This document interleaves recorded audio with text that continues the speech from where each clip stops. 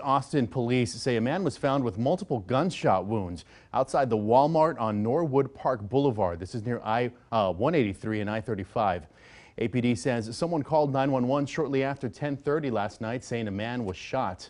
When officers got there, they tried to save him.